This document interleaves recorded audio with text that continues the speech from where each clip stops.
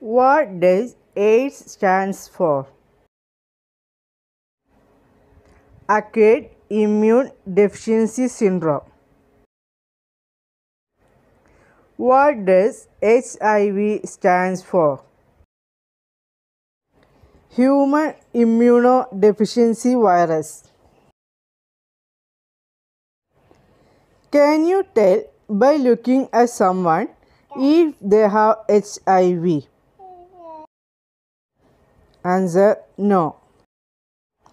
What is worn on World AIDS Day to show support to people living with HIV?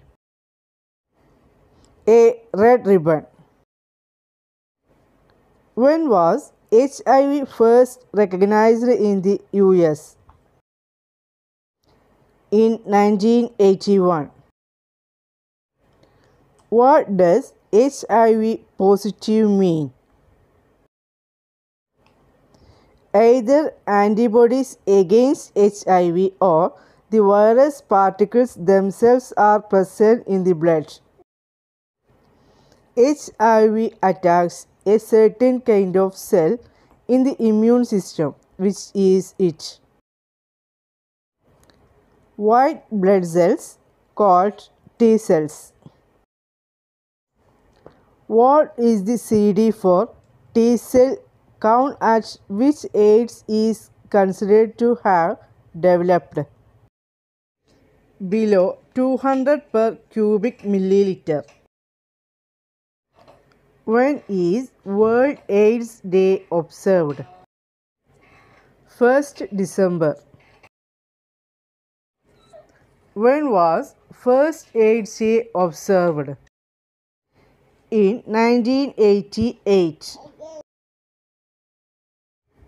What is acute HIV syndrome? The stage immediately after HIV infection when the patient falls ill. How many stages of HIV infection exist? Three stages. In individuals with HIV, opportunistic infections are more frequent.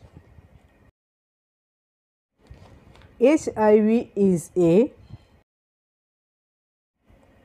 lentivirus. Which virus is associated with acquired immune deficiency syndrome pandemic? HIV 1